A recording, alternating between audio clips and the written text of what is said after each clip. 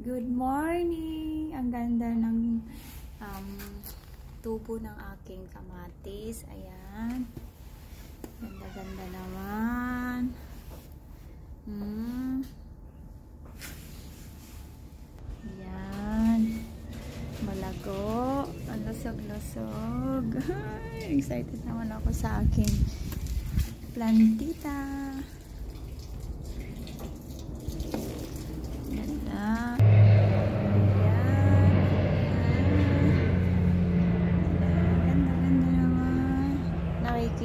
Nakikibahay lang po sila sa tanim ni Nanang. Good morning, tomato. Ayan, mga garden ko kay Nanang. malusog na malusog. Excited ako.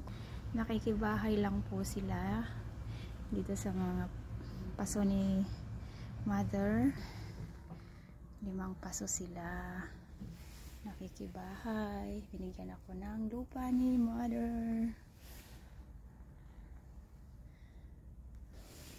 Yan may lupa na pa ako dito sa Australia. Nakalagay lang po sa paso hmm? ayan ang aking mga lupa dito sa Australia. Lupa sa paso